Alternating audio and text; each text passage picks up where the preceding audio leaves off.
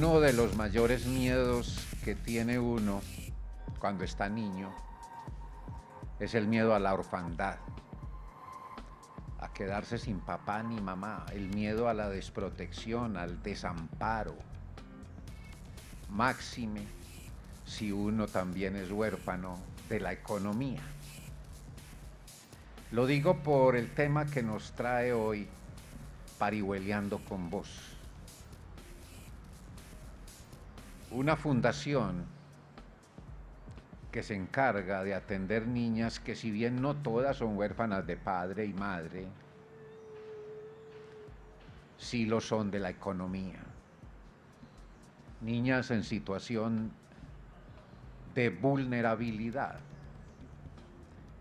Y en la Fundación Angelito de mi guarda encuentran una protección, encuentran el amparo. Ese es el tema esta tarde aquí en Parihueliando con vos. Luis Alirio, muchísimas gracias. Muchas gracias a ustedes por estar conectados con nosotros, con Telemedellín, siempre con vos. Estamos transmitiendo en directo, son las 4 de la tarde, en directo desde el canal Parque Telemedellín, donde siempre los estamos esperando. Aquí hay un parque hermosísimo, ustedes pueden venir a disfrutarlo. Estamos eh, en el vivero municipal, lo que era el vivero municipal en Villa Carlota. Esto es la carrera 43F 1860. Y aquí también tenemos un tour Telemedellín y este fin de semana, sábado y domingo por el mes del niño, va a ser gratis para los menores de edad. Entonces aprovechen, llaman a nuestro teléfono 448-9590, extensión 115 y allá pueden separar esa horita para que vengan y pasen muy rico y aprendan cómo se hace la televisión. También ayer estábamos hablando con nuestra secretaria de Desarrollo Económico de la Alcaldía de Medellín, María Fernanda Galeano. Estábamos hablando de buscando talentos. Una de las empresas que trabaja con ellos es Inex Moda. Ellos abren las convocatorias, está abierta hasta, tenemos 11 días más. ¿Para quiénes? Para los jóvenes talentos. Entonces, si usted de pronto está estudiando diseño de moda, vestuario o carreras afines y quiera presentar su proyecto, tiene 11 días más. O si de pronto su hijo, su nieto, sobrinos, amigos del barrio, oportunidades, estamos buscando más talentos. ¿Y para qué es esto? Para Latinoamérica Habla que se hará visible en Colombia Moda 2018. Entonces, esta es otra invitación para que ustedes eh, se animen o animen a otras personas que conozcan, en esta área de la moda. Y sí, señor, vamos a buscar entonces angelitos que están en nuestra ciudad eh, trabajando por nuestros niños, en este caso son niñas. Y no vamos a empezar parihueleando con vos sin saber un poquito de historia y sin aprender de las Luis Efemérides. Muy bien, Natalia, 25 de abril de 2018. Hoy es el Día Mundial del Paludismo. Generalmente estos días son para tomar conciencia sobre este tipo de enfermedades. Hay Día Mundial de, muchas clases de enfermedades. El paludismo, en estos días hablábamos de la enfermedad del Parkinson, hay un Día Mundial también de esto. Bueno, de muchas, de muchas, del SIDA. Bueno, Día Mundial del Paludismo, 25 de abril. En 1859, en Egipto comenzó la construcción del Canal del Suez. El 25 de abril de ese año, el 25 de abril de 1898, Estados Unidos le declaró la guerra a España. Ese mismo día, pero de 1954, Estados Unidos detonó la bomba de hidrógeno Union de 6.900 kilotones. Un kilotón es una medida de liberación de energía equivalente a una tonelada. Hay pruebas atómicas de Estados Unidos, también la Unión Soviética las ha hecho muchas veces. En 1990, el 25 de abril, en Nicaragua asumió el poder Violeta Chamorro, la primera mujer presidenta de ese país. En Washington, el 25 de abril de 1993, tuvo lugar la manifestación de un millón de personas por la igualdad de los derechos para la población gay, lesbiana y bisexual. En 1917, el 25 de abril, nació Ella Fitzgerald, una de las mejores cantantes de jazz que la historia ha dado. Nació Corín Tellado, pero en 1927, escritora española. Nuestras mamás crecieron y se enamoraron con Corín Tellado. En 1940, el 25 de abril, nació Al Pacino, conocidísimo y reconocido actor de Hollywood. Nació Fausto en 1950, el cantante paisa. Manolo Cardona, el actor colombiano, en 1977. Y, está, y Emilio Salgari, escritor famoso de aventuras italiano, nació el 25 de abril de 1911. Nació, no, murió. Emilio Salgari, autor de novelas como El Corsario Negro, La Venganza de Sandokan, etcétera, etcétera. Ahí tienen, señores. Luis Alirio, muchísimas gracias. Se me olvidó algo importante. Para la convocatoria de Latinoamérica Habla, pueden entrar entonces a la página www.inexmoda.org.co. Bueno, vamos a empezar entonces hablando sobre la Fundación Angelito de mi Guarda. Nuestra invitada del día de hoy es Gloria Rivera directora de la Fundación Angelito de mi Guarda. Eh, Gloria, muy buenas tardes, parihueleando con vos. Buenas tardes a todos, muchas gracias por la invitación, qué rico estar aquí. Gloria, primero también le vamos a hacer la invitación a todas las personas que nos están viendo eh, por medio de Telemedellín. ¿Para qué? Para que se comuniquen con nosotros, le hagan preguntas, porque lo suyo es una historia de vida y entonces cómo se dedica esta fundación, de pronto hay personas que también lo quieren hacer, ustedes de pronto quieren participar con esto, preguntar o también quieren ser voluntarios en la fundación o tienen casos de pronto de niñas que quisieran que ingresen a la fundación. Vamos a ver entonces cómo vamos a conversar con vos, a parihuelear con vos, nuestra línea telefónica 268 6033. Esta fundación entonces, ¿a qué se dedica, Gloria? La Fundación Angelito de mi Guarda se dedica a promover bienestar y desarrollo de niñas, menores de edad y adolescentes que tienen dificultades económicas en sus casas. Básicamente es eso. Lo que hacemos es constituir como un hogar de paso donde ellas pueden vivir y estar siempre eh, cumpliendo sus sueños. Buscamos que crezcan en un ambiente sano psicosocialmente, que puedan como desarrollarse como personas íntegras y que pues de una forma muy especial eh, estamos dedicados siempre como a cuidarlas desde el amor. Mire, en el caso específico de Medellín, uno ve programas que tiene la alcaldía, mediante varias dependencias, principalmente la Secretaría, la Secretaría de Inclusión Social, Familia y Derechos Humanos, precisamente para asistir a las familias de menores recursos. Existe además un programa que llama eh, Medellín Solidaria, ¿cierto?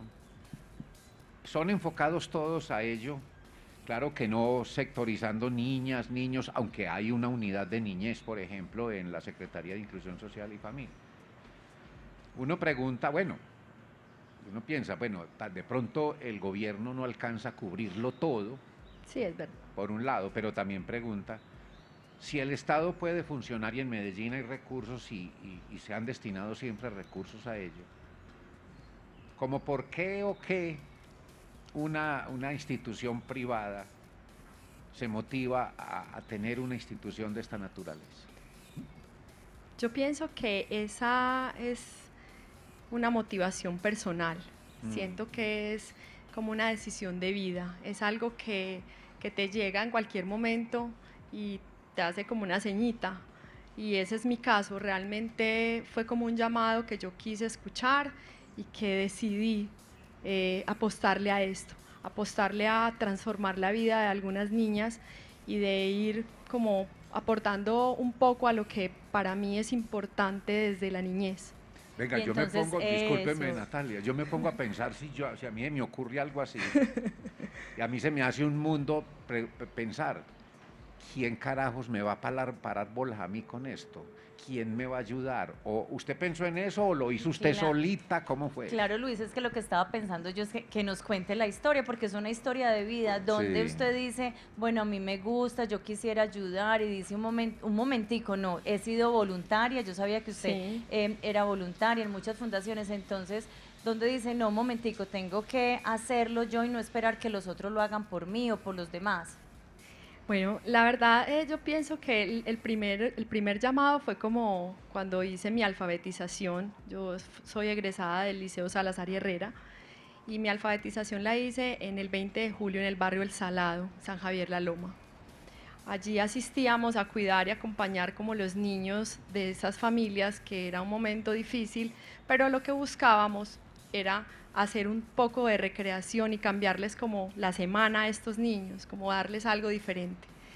Cuando terminé ese pedazo de la alfabetización, yo decía, bueno, pero ¿y entonces dónde quedé? ¿Qué va a pasar con lo que me gusta hacer? Y empecé a buscar lugares para hacerlo. Entonces ahí viene como lo que estaba diciendo Natalia, de querer eh, buscar un lugar para ser voluntaria de pura casualidad, porque la vida es así de mágica, me conseguí una, una institución que quedaba en San Pedro de los Milagros. Entonces era todo el tema de todo el tiempo ir hasta San Pedro de los Milagros, pero pues había otras actividades, había universidad, había trabajo, entonces solo podíamos hacerlo los domingos. Yo empecé a convocar un montón de amigos a que me acompañaran los domingos, la familia y los que se querían ir como vinculando en la historia y bajábamos, eh, subíamos los domingos eh, siempre a San Pedro a llevarle algo a las niñas que estaban en una fundación. Allá sí había niños y niñas, pero entonces eh, nosotros conseguíamos mercado, juguetes, muchas cosas para acompañarlos ahí todo el tiempo. Entonces ah, hubo un momento en el que yo empecé a ver que lo que hacía era muy rico, pero que me quedaba corta, porque es que solo cada 15 días un domingo, pues era muy poco el tiempo. Entonces empecé a pensar qué bueno que yo pudiera dedicarme a esto. Y fue como una locura que se me fue metiendo en la cabeza y ahí, ahí, ahí despacio.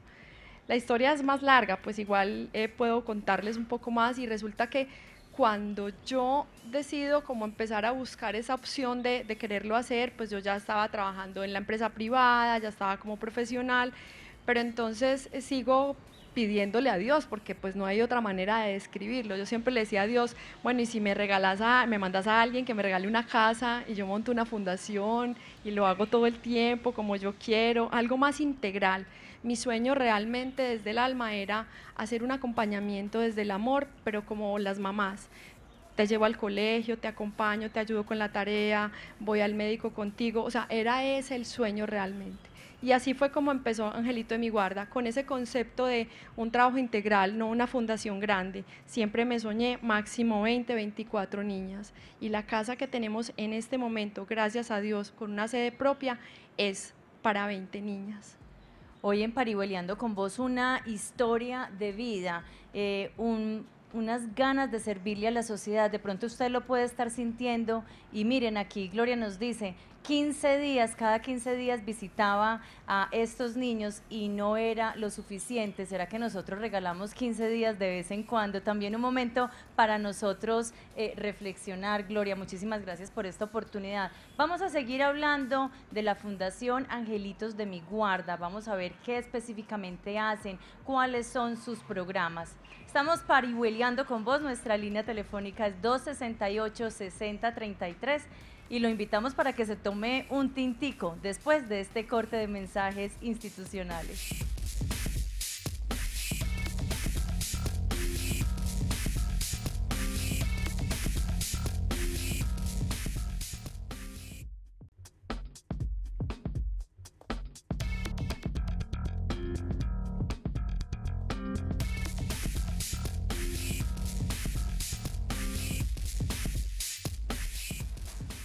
Fundación Angelito de mi guarda.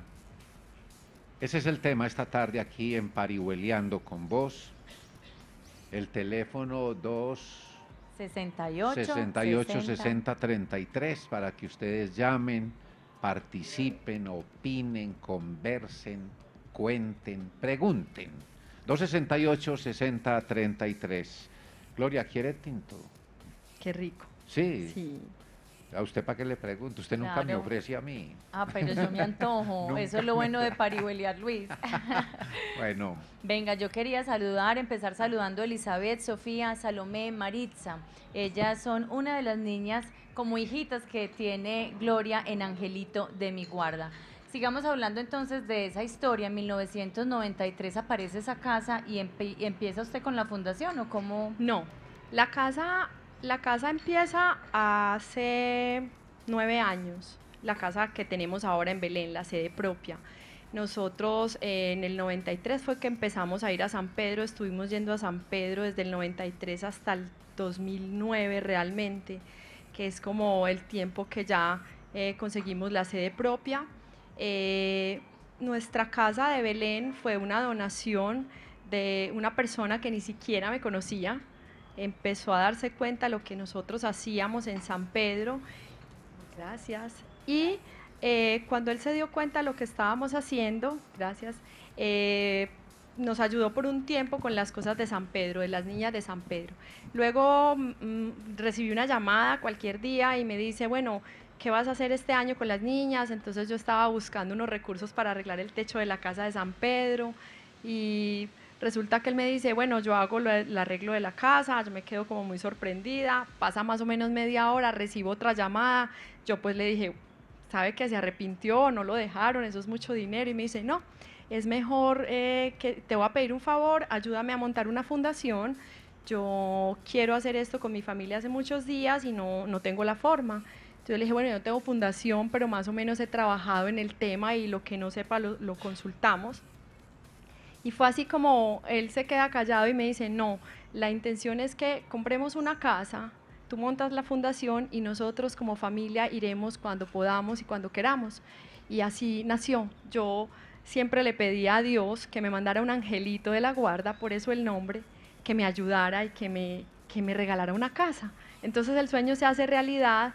La casa mm, la buscamos hasta que la encontramos pues en un lugar maravilloso porque Belén tiene todo y es- empezamos a funcionar en, en Angelito de mi guarda en, en marzo del 2009. Hicimos unos ajustes a la casa cuando nos la entregaron y ahí arrancamos. yo Esa es, estaba elevado sirviendo el tinto. Eh, ¿Quién fue quien le ayudó a conseguirla? no, me la regaló un señor que a- en principio Ajá. yo ni lo conocía. Entonces él, él siempre me dijo, bueno, esa es la casa, aquí está, mi familia y yo pues hacemos este aporte, es una persona absolutamente generosa, en su, en su momento pues le, le invitamos a participar de la junta de la fundación, a que nos acompañara como en todo el proceso de creación de la fundación y me dijo, no, no nos interesa, vamos a estar simplemente apoyándote, Bueno, pero no más. Y, ¿Y cuántas niñas tiene? En este momento hay 11, la casa tiene capacidad para 20. 11 niñas que 11 provienen niñas. de dónde, cómo las elige usted o A cómo ver, es eso. La, yo siempre he dicho que la elección de las niñas a veces no es solamente mía, sino que es como el sentir de una mamá. Si una mamá es capaz de llegar a un lugar como Angelito de mi guarda, a pedir que le ayudemos con su hija, pues hay dos motivos como siempre que, que están atrás de esto y una fuerza que llama. Una es que hay una necesidad de verdad latente de que la niña no esté corriendo un riesgo. Y la segunda, lamentablemente, y a veces sucede, hay alguien que no está a gusto con su hija, entonces la niña termina de aquí para allá, de allá para acá, y, esa niña también necesita protección. Entonces hacemos como ese, primer eh, avance es buscar qué, qué pasa con la niña, hacer una investigación, después una visita domiciliaria y luego pues hacer el ingreso. Yo eh, hemos determinado que Angelito de mi guarda las recibe pequeñas, entonces nuestro rango de ingreso es entre los 2 y los 5 años más o menos, buscando proteger la primera infancia, que ellas tengan como esas imágenes chéveres desde pequeñas y ahorrarles un montón de cosas de aquí a allá en la calle y a veces en, en tantas dificultades que pasan, entonces preferimos como recibirlas más pequeñas. Muy bien. Ustedes, yo veía en la página, su página está muy bonita, muy organizada y Gracias. ten- tienen plan o programas, plan alitas. Hablemos un poquito uno por uno de esos planes, empecemos hablando de ese plan educativo y además, ¿quién cubre esos planes o usted cómo hace? Porque usted solita para cubrir 11 niños, si yo me veo encartada hay veces con dos niños, ¿cómo será con 11? bueno, la parte de la Con 20 cuando está el cupo Cuando está full, sí. Ahora, eh, lo máximo que hemos tenido es hasta 18 el, tema de la gestión de recursos es el día a día, ¿cierto? A veces no es tan fácil, realmente a veces no es tan fácil, pero de la mano de Dios siempre las cosas resultan, eso es una cosa mágica. Las niñas no pagan nada. No, no, no, no. Sus mamás hacen un aporte mínimo que es para algunas cosas de fotocopias del colegio y estas cosas como básicas, pero realmente nosotros no les hacemos ningún cobro a las mamás. Entonces, eh, nosotros nos encargamos de todo. La iniciativa del Plan Alitas es buscar que las personas que a veces quieren colaborarnos eh, se conecten con alguno de los objetivos. Entonces buscamos alitas de educación, de dulces sueños, que es como todo lo del ambiente de la casa, de recreación, de alimentación y de salud lo que hacemos con eso es que hay personas que me dicen, bueno, mira, yo no quiero hacer un regalo corporativo este año que sea como lo mismo de siempre, sino que se, se apegan como a estas alitas y ahí entonces lo que hacen es un aporte a nosotros para uno de esos objetivos. Pero del resto sí es como todo lo que llega a la casa igual es para todos. Pero vámonos uno a uno, por ejemplo, educación, ¿a dónde van las niñas? Todas las niñas tienen, están eh, estudiando en la institución educativa Rosalía Suárez, unas en primaria, otras en bachillerato, queda pues ahí muy cerca de la fundación. Entonces con ese plan de alitas educaditas pues acabamos de, completar todo lo que, lo que ellas necesitan. Eh, los útiles, los uniformes, todo el tema de sus algos, lo que les pidan pues en el colegio. Entonces, por lo menos estamos escolarizadas, ¿no?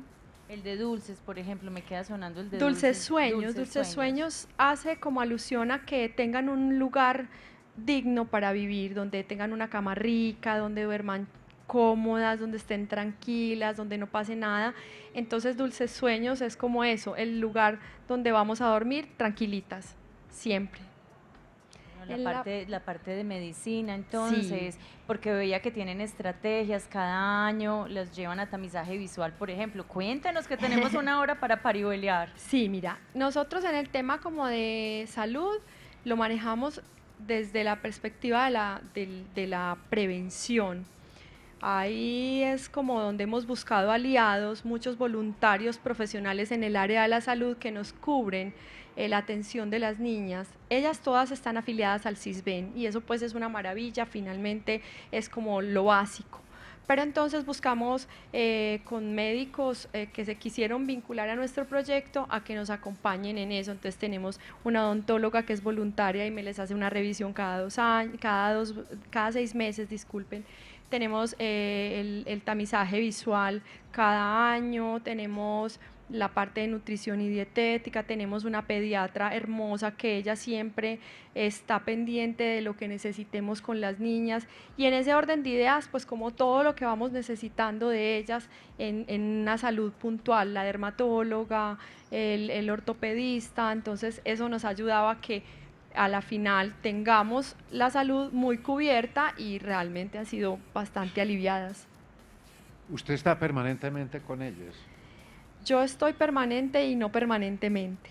¿Por qué? Porque como hago gestión de recursos, voy a buscar el mercado, bueno, hago como todo un montón de cosas, yo voy todos los días, tengo una persona muy especial en la casa que es quien también es mi soporte y mi apoyo como en, el cuidado de las niñas, hasta siempre allá, ella sí está permanentemente ahí en las noches y todos los días eh, pendiente de ellas, un angelito de la guarda, eh, y yo estoy, entro y salgo todo el tiempo. ¿Y ellas están internas allá o, duermen allá o en la casa los fines de semana? Las niñas pasan todo el tiempo en la fundación, salen un fin de semana al mes a visitar a sus familiares o acudientes. El resto del tiempo están con nosotros. Eh, esto quiere decir que todas salen el mismo fin de semana, ¿cierto? Ya tenemos como unas fechas determinadas que las programamos desde comienzo de año y ellas salen todas el mismo fin de semana. Eh, el resto del tiempo están con nosotros, entonces hacemos actividades culturales de lunes a sábado, donde ellas eh, pueden tener eh, baile, pintura, canto, hay unas que se ganaron unas, unas, becas en el ballet metropolitano, entonces están yendo a clase de ballet, hay otra que está en clase de gimnasia. Entonces, eh, la intención es potenciarlas a ellas desde sus talentos, desde lo que les gusta, desde que ellas vuelvan a sentirse incluidas como en el mundo, que le pertenecen a algo, que son capaces, que sí se puede, que pueden lograr un montón de cosas y si se dejan, pues hay más. Una pregunta como muy paisa y es esta. Eh, las niñas no pagan nada. No, señor. Y usted busca los recursos. Sí. ¿Usted de qué vive? de lo mismo que ellas. de lo mismo que Claro. Sí, sí, sí. O sea, hasta el momento yo siento que es una tarea que se hace todos los días con mucho amor. Yo darte esa respuesta como en específico a veces es muy difícil porque cuando alcanza, pues alcanza y cuando no algo hacemos, ¿cierto? Yo creo que es, es, siempre ver las bendiciones, siempre las cosas suceden, siempre se puede, siempre hay, no sé, no te lo sé explicar, pues también es, como la bendición de Dios, porque usted lo decía ahorita, usted le pide y van llegando las cosas. Creo que también a las personas buenas y que quieren servir a la comunidad, las cosas también eh, van llegando. Bueno, respeto, solidaridad, ¿cuáles son los valores de la fundación? Respeto, solidaridad, compañerismo y honestidad. Yo pienso que son como el pilar fundamental de esos hay muchos que se nutren, ¿cierto? Entonces, realmente lo que hacemos es que vivimos como una familia, una familia donde el compañerismo es muy importante, donde nos respetamos todo el tiempo, donde hemos aprendido que eh, somos diferentes unas con otras, pero que nos aceptamos. También peleamos, pues, o sea, no a decir que le salieron alas a todas, también peleamos porque somos seres humanos normales buscando momentos y etapas como en la diferencia, ganarnos como un espacio y eso. Pero en realidad es una gratificación ver que los conflictos son muy sutiles, o sea, que las cosas que pasan son peleas como de hermanas no es una cosa que uno diga, Dios mío, pues, ¿qué vamos a hacer con estas niñas? No se hablan, no sé qué, no nada. Con una ventaja maravillosa. Las niñas de Angelito de mi guarda han crecido juntas. Entonces tenemos niñas que llevan, en, esta sede nueva, llevan los nueve años que llevamos en la fundación. Y hay otras que están desde San Pedro. Entonces digamos que hay un trabajo que realmente se ha logrado y se ha conseguido desde la parte integral, que era lo que yo me soñaba. Salomé Rivilla, Jimena, Sara, son otras de las niñas eh, que están con Gloria en la Fundación Angelito de mi Guarda. Aquí estamos parihueleando, estamos conversando de esta fundación, de esta mujer que ha decidido de su vida servirle a la comunidad y de pronto usted es médico, abogado, psicóloga y está diciendo allá, ah, yo tengo un tiempito, puedo ayudar en esta fundación. Entonces puede llamar a Gloria y preguntarle. Ya está comunicador, Natalia. Hasta comunicador, no, hasta teacher, ¿cierto? Sí, la teacher también la necesitamos. sí, señora, estamos parihueleando con vos. Estamos hablando de esta fundación y ya volvemos después de este corte de mensajes institucionales.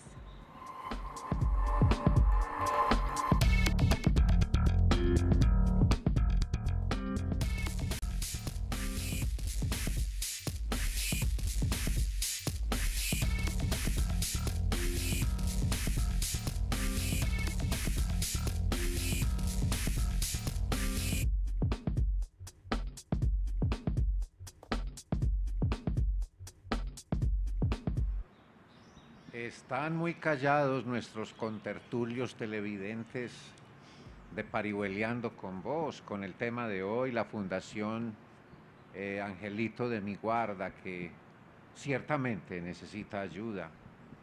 Llamen 268-6033, opinen, cuenten, propongan aquí en Parihueleando con vos. Bien, a ver, yo quiero insistir en, lo de las niñas, cómo ingresan. Es decir, ustedes estudian la procedencia de la niña para ver si amerita que esté ahí o no. Sí, claro, claro. O sea, hacemos lo que... Discúlpame, me uno la pregunta porque hemos trabajado, por ejemplo, con la Secretaría de Inclusión y hay muchos niños en la calle. Entonces uno podría llamarlos y decir, mire, hay niños en esta situación. ¿O cómo es ese estudio para saber si uno puede llamar o no? Pues eh, nosotros lo que hacemos realmente es, escuchar como el llamado de la persona que está buscando el cupo para la niña. Entonces los filtros son simples, realmente el, primer filtro es la edad, por lo que les contaba que ya las niñas más grandes pues llegarían como, como a destiempo a la fundación y lo que buscamos es que ellas se acoplen y que se acomoden muy bien al lugar a donde van a llegar. Entonces buscamos que estén en ese, en ese rango de edad, de los, cuatro, de los 2 a los 6 años, 5, pues más o menos vamos evaluando cada caso. Eh, lo segundo es siempre investigar las razones del por qué queremos que una niña se salga de su ciclo, de su núcleo familiar, porque realmente para todos es muy importante en nuestra infancia la familia, lo que estabas hablando al principio. Entonces no dejar las niñas como que simplemente, ay, la quiero meter en un, en un hogar y listo. No, ¿por qué? ¿Qué pasa? ¿Qué hay de fondo? Incluso eh, hemos tenido casos en los que las personas eh, se dan cuenta que conversando con nosotros no es necesario sacar la niña de la familia y ponerla en una situación compleja, vivir en otra parte, sino que se pueden hacer algunos ajustes en la casa y simplemente eh, hacerle un acompañamiento externo. Lo que buscamos es eso, que ellas estén siempre eh, organizadas y, que, que estén tranquilas, que tengan como ese acompañamiento desde el amor. Salirse de la familia no es fácil. Gracias, Gloria. Tenemos una llamada desde el poblado, muy cerquita de nuestra sede del canal Parque Telemedellín. Juan David Vázquez, eh, Velázquez, muy buenas tardes, parihueleando con vos. Muy buenas tardes. ¿Cómo está? Muy bien, gracias a Dios y ustedes. Muy bien, muchísimas gracias. Feliz de escucharlo. Nuestro primer, podría decir Luis, nuestro primer parihuelo. no mentiras. Parihueleando con vos, Juan. Adelante. Bueno, eh, esta historia con la Fundación Angelito de mi guarda, yo soy voluntario de la fundación. Conozco a, a Gloria Rivera hace muchos años y y desde que estábamos jóvenes ella venía con ese cuento de los niños de, de San Pedro y era una cosa muy linda que ella tiene en el corazón de toda la vida. O sea, yo no me canso de, de, siempre sentir que, que, ella es bendecida pues por todo esto que hace por las niñas. Yo en este momento soy un industrial, me dedico pues a otras cosas y y me conecté con la fundación porque nos volvimos a reencontrar hace algún tiempo y encontré en las niñas algo muy hermoso, porque uno cree que, que uno es el que va a ayudarles a ellos allá y realmente el que se siente como bendecido es uno, por todo el cariño y el amor que las niñas le dan a uno y, y le devuelven infinidad, infinidad de cosas por solo un abrazo, por solo escucharlas y darles y estar ahí con ellas. Qué buen testimonio. Gracias, qué lindo. Nos hace recordar que tenemos que dar un poquito más. Y mire lo lindo que dijo, uno cree que uno las va a ayudar, pero uno termina siendo el ayudado. ¿Usted qué opina de Juan, de esa llamada tan linda que nos acaba de hacer? Muchísimas gracias, Juan. Gracias, Juan. Y usted, pues, ¿qué le va a responder a Juan? pues responderle a Juan, a él como vocero de los voluntarios de Angelito de mi Guarda. Eh, hemos trabajado con nuestro director terapeuta en, un proyecto que está basado para las niñas desde el arte terapia, ¿cierto? Entonces vinculamos ahí todo el tema de baile, pintura, teatro, y entonces cuando ya teníamos, digamos que ese proceso montado, David Molina, que es nuestro director terapéutico, nos invita a, nosotros como fundación a buscar la forma de que nuestros voluntarios trabajen y se preparen para ser voluntarios. ¿Qué pasa o qué significa esto? Significa que realmente ellos son como los tíos de las niñas, ellos son como los ojos de, de nosotros con las niñas cuando no estamos. Entonces necesitábamos preparar a estos voluntarios para que cuando nosotros no estamos y ellos intervienen a las niñas, pues no haya nada más que amor y que además todos hablemos el mismo lenguaje. Entonces Juan, claro, Juan se vincula a la fundación, quiere participar de esto y es uno de nuestros voluntarios activos. Ha participado con nosotros en las obras de teatro que hacemos a fin de año, entonces invitamos a voluntarios no solamente en la parte logística y de montaje de la obra, sino también a los que quieren actuar, actúan con nosotros y con las niñas. Entonces todo esto termina siendo un enlace maravilloso donde a veces incluso sacamos cosas de nosotros que nunca habíamos pensado, una parte artística que no conocíamos. Y el trabajo en, en, equipo, ese engranaje maravilloso de un grupo de voluntarios comprometidos desde el amor, en peliculados y ahí estamos todos. ¿Cuántos voluntarios hay en este momento? Más o menos tenemos, eh, con los externos, tenemos más o menos 40 voluntarios, cada uno con una tarea muy específica y muy, como muy especial en la fundación, comprometidos que mejor dicho ellos saben que yo los amo. Dos cosas, miren. Una, eh, ¿por qué solo niñas? Porque niños vulnerables hay muchos. Muchos.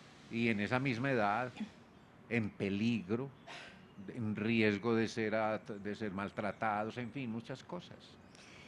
La decisión fue muy dura. Cuando empezamos Angelito de mi guarda teníamos niños y niñas y los niños me encantan los hombres también hacen parte como de esa magia y más cuando están pequeños, como, o sea, lo que dices es verdad, son vulnerables igual, todo. Entonces era muy difícil el manejo interno, porque cada niño de estos también ha vivido un montón de historias no fáciles en su vida, traen mucha información y eh, digamos que lo que primaba eran las niñas, el número, pero eh, había que tomar una decisión si nos quedábamos con niños o niñas porque el manejo interno, la infraestructura para el manejo interno tiene que ser muchísimo más grande. Entonces me tocó cerrar los ojos, tomar una decisión muy difícil y pensar cuál era el camino. Cuando yo pienso y decido que finalmente son niñas, es porque siento que una mujer bien cuidada es el núcleo de la familia. Una mujer bien cuidada con todo el respeto y el amor que me merecen los hombres, una mujer bien cuidada impulsa un montón de cosas. Entonces, si una niña está bien cuidada, pues no hay prostitución, no hay drogadicción, al menos en ese núcleo de ellas, y se pueden reinsertar a su familia para ser mujeres de bien. Y esa fue como la, la, decisión que tuvimos que tomar. Y se educa diferente a una niña que a un niño y después en la adolescencia también. Es entonces, muy, es muy a veces hay problemas con el enamoramiento de los amiguitos, entonces es también más fácil manejarlo. Ahorita que Luis Alirio estaba preguntando sobre eh, quiénes pueden ingresar, cuéntenos si de pronto usted tiene una lista muy grande de niñas que quieren ingresar a la fundación, si hay abiertas convocatorias o si en este momento usted tiene el cupo lleno. No, el cupo, en este momento estamos con 11 niñas, la casa tiene capacidad para 20. No nos enloquecemos en buscar las niñas y en llenar la casa por una razón muy simple, y es que eh, como el trabajo es tan minucioso. Es como que uno no tiene cinco hijos al mismo tiempo, pues habitualmente no, ¿cierto? Van llegando de a uno. Entonces nosotros buscamos eso, el acompañamiento muy especial a la más pequeña para que ella vaya creciendo ahí. Cuando vemos que ya la podemos soltar, entonces ingresamos otra, otras dos. En este momento pues estábamos en proceso con algunas que nos han pedido el cupo, pero todavía no hemos dado como el paso final. Bueno, otras de las niñas eh, son Andrea, Sofía, Valentina y Mariana. Estamos parihueleando con vos. Nuestra línea telefónica es 268 6033. Te estamos esperando aquí en este set para que le preguntes a Gloria sobre la Fundación Angelito de mi Guarda. Volvemos después de este corte de mensajes institucionales.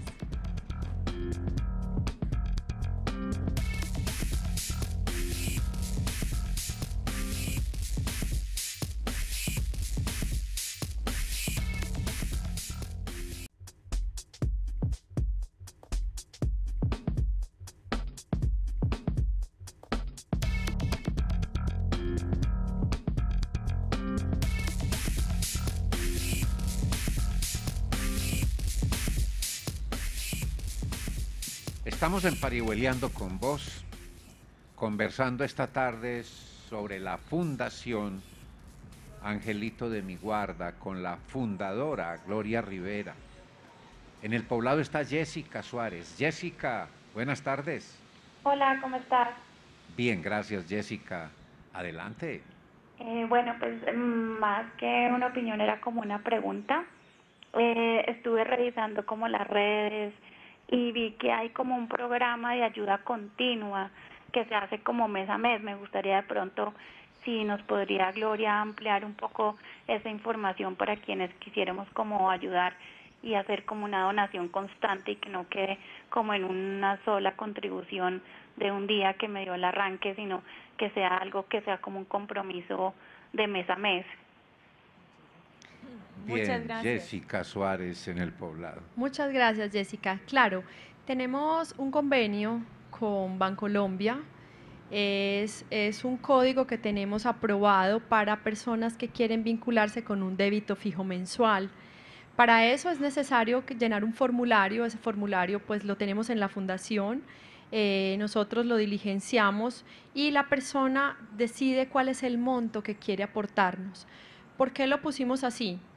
Hay en algunas partes que lo manejan con unos valores específicos, eh, lo cual también está bien, pero nosotros queremos que las personas que quieran ayudarnos lo hagan desde, desde su corazón y desde sus posibilidades, sin poner ni un valor de lo que pueda costar una niña, ni tampoco de un valor de lo que pueda de decirle a la persona tiene que ser esto, ¿cierto? Entonces, eh, lo que hacemos nosotros es realmente proveer el formulario, diligenciarlo y lo podemos, eh, la persona lo firma y vamos y lo llevamos a Bancolombia para que no lo inscriban y es por el tiempo también que quieran y el monto que quieran. A propósito de esto, Gloria, las personas que quieran de pronto ayudar a la fundación, ¿de qué formas pueden ayudar? Bueno, mira, hay muchas formas. Hay un tema de donaciones en especie. Las donaciones en especie se reciben eh, pues muchas veces las personas lo que hacen y que me parece que es como la forma más, más rica de hacerlo es una llamada para preguntar qué es lo que estamos necesitando.